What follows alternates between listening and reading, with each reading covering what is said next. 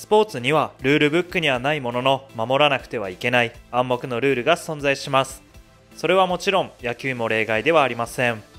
特にメジャーリーグでは不分律なルールを意味するアンリトンルールと呼ばれ日本よりも明確に存在します。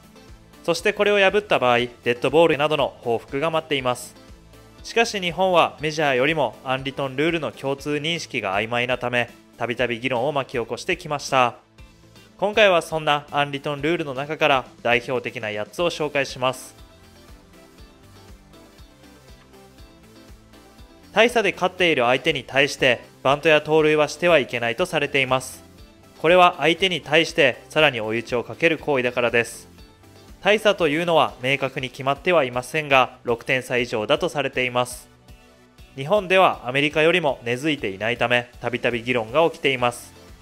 2020年8月に行われた巨人対ヤクルト戦では8回に6点差でリードしている巨人がダブルスチールを成功させましたがこの試合で解説を務めていた元ヤクルトのトマシノ検事はマナー違反だしてはいけないと苦言を呈しました。しかしファンはこれに対して何が悪いのかとも反発。議論が起こるのがアンリトンルールが根付いていない証拠と言えます。この行為も相手への追い打ちとなるため禁止とされています。2001年5月のヤクルト対巨人戦でヤクルトピッチャーの藤井修吾が7点リードした9回表の打席でショートゴロを放ち全力疾走。結果はアウトでしたが巨人ベンチからはなんで全力で走ってるんだ？そこまでするか？ふざけるな？と激しいヤジが飛びました。藤井はベンチに帰りながら何度も頭を下げベンチでは涙を流しました。完投目前だった藤井でしたがその裏のピッチングで先頭バッターにホームランを打たれるとその後3者連続四死球で降板。ヤジがメンタル面に大きな影響を与えたことは誰の目にも明らかだったため大きな議論を呼びました。これはストライクが入らないピッチャーを追い詰めてしまう行為のため禁止とされています。新庄剛志はメッツ時代の2001年に大差で勝っている場面でこのカウントからフルスイング。結果は空振りでしたが打ちに行ったことが反感を買い翌日の試合で肩に強烈なデッドボールをもらっています。また2020年パドレスに所属するタティス・ジュニアが7点差でリードした場面でノーストライク3ボールからホームランを放ちましたが相手監督から苦言を呈され謝罪しました。しかしこのことに関して数人の現役のメジャーリーガーが謝る必要はない。打たれたくないならもっといい球を投げろ。と反論。そのことも大きな話題を呼びました。アンリトンルールは時代とともに変わっているということがわかります。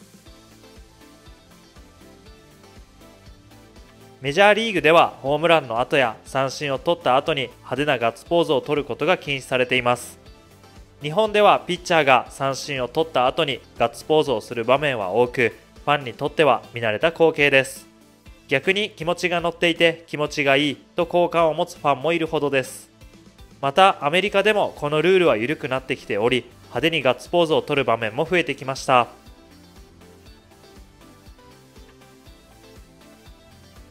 これは主にアメリカで適用される暗黙のルールです。2001年にダイヤモンドバックス対パドレスの一戦においてノーヒットノーランを継続中だった8回にパドレスのベン・デイビスがセーフティーバントを成功させて記録は途絶えました。しかし試合終了後ダイヤモンドバックスの監督がデイビスに対してチキンだなどと強く非難し物議を醸しました。アメリカではバントに対して卑怯姑息といったイメージがありそこまでして記録を止めたいのかというような思いが背景にはあるようです。日本ではバントヒットが立派な作戦の一つであると認識されているためバントヒットを狙っても問題はありません。パワーとパワーの対決を好むアメリカならではの暗黙のルールと言えます。しかしバッターに縛りがある状態で達成した記録はどこか腑に落ちない。そう感じてしまうのは日本人だからでしょうか。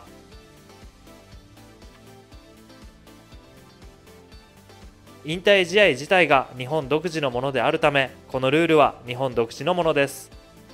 このルールのせいで対戦したバッターは打率が下がってしまうため不憫のようにも感じるため結果が分かっている勝負なら試合前にやればいいのではないかそう思ってしまうルールです。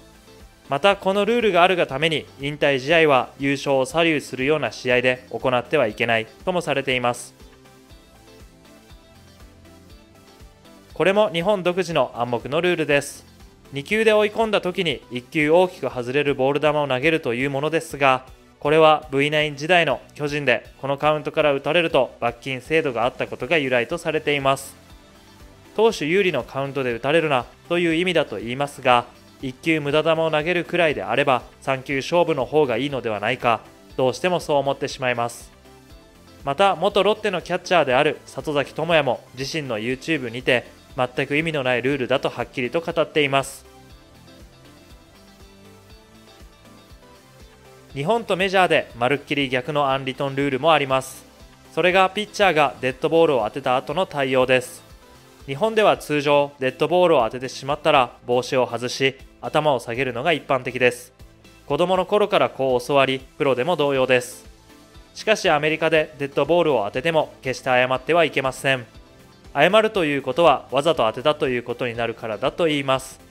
アメリカでは真剣に投げていてデッドボールになるのは仕方がない。一塁にバッターは進むのだから当てたことに対する報復は終わっている。こう考えるそうです。